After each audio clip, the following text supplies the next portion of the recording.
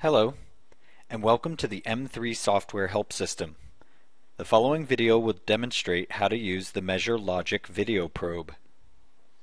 The MeasureLogic Video Probe is selected from the M3's Video Probe menu, seen here. Once selected, several points can be collected instantly on a given edge.